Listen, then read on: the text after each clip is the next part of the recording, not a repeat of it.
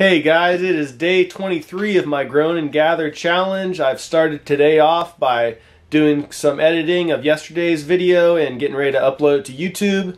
But for breakfast, I have a nice big tangerine that I found yesterday out in the woods. And today I got some more bee work to do. I'm going to be um, gathering nucleus boxes to make splits next week and I need to um, get frames and clean some up and re-wax some foundation. So just some um, kind of not so exciting beekeeping work to do, but we'll see what happens and um, try to figure out what we're going to eat today. Better late than never. My chickens just laid two eggs. It's late morning, but I'm excited about this. I'm going to have a breakfast to fuel me up for the day, and then I got to go out and work on bee boxes. I just got home from working at one of my bee yards, cleaning up um, frames and getting nucleus boxes ready for splits. And I just cooked up some hog tenderloin that I had still in my refrigerators.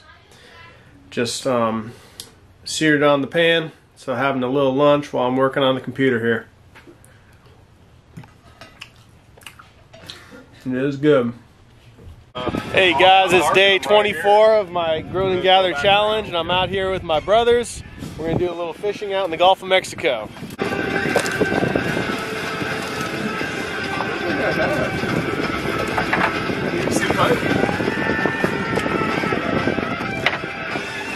What's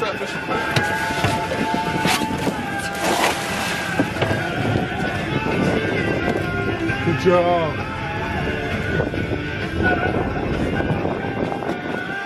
Did you get him, Luca? Do you feel him wiggling? What's that one I? Is that like first sabiki? Yeah, yeah it's a sabiki rod. Wreck the pinfish again. You, just, you just reel them right into it, so you Those know. pinfish are hitting the net like. Uh, Oh yeah. That's funny, someone actually sells. They've been around for a while. Yeah, they're popular. A lot of people do it every time they go out. Dang, man.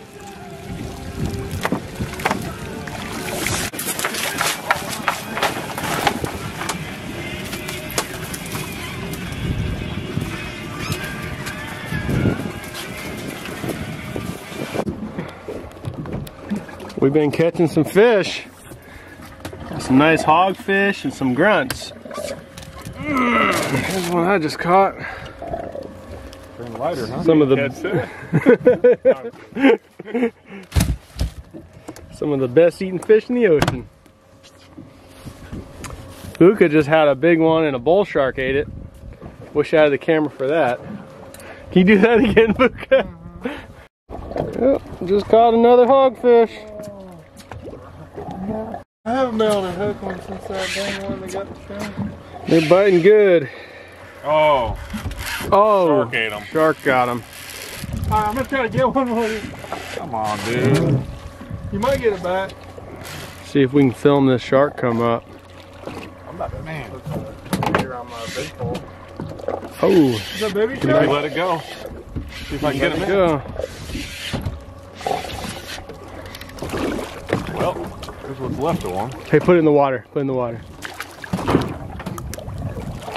Dang it. He was a keeper.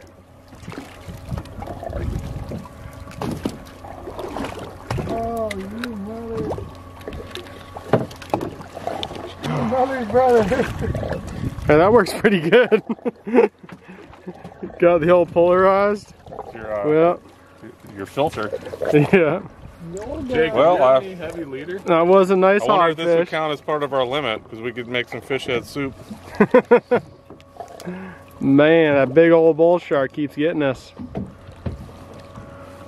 They have to be 14. That one was a keeper. He ain't there no more. It's not my first time getting fish Or the shark eat. But it's grown. That's a big old grunt. Yeah, I've, I've always caught hogfish in this spot. Yeah.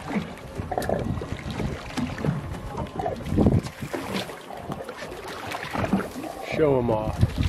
He's beautiful. She's a gorgeous one. I just caught the biggest lizard fish of my life, and I'm gonna keep this guy and see what he tastes like. Never eaten one of these before.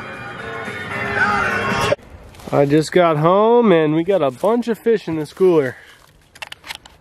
It is filled up with grunts and hogfish. So we're gonna have some good eating. We're gonna have some fried fish tonight. I am so excited right now. I got a bunch of hogfish all filleted up here. I got some beer batter. And I haven't eaten anything all day. It's about, I don't know, 5.40 or so. So I'm getting ready to demolish some of these hogfish. And this is some of the best fish in the ocean. It is just so white and clean and flaky. It is perfect. Got some fish frying up and there's the finished product right there. One of the things I filleted is that lizard fish and that's it right here. And it is full of bones. That's probably why people don't eat it too much, but I, I'm going to try it. I've never eaten a lizard fish. I don't know anyone that has. We're going to, looks like it is golden brown and ready. Going to take it off and let it cool down a minute and see what that's like. So here's lizard fish. First time ever eating it. Whoop. I dropped it. Eh, not bad, not great. Has a ton of bones in it. So the reason people probably don't eat lizard fish is because it's too bony and it's not that great.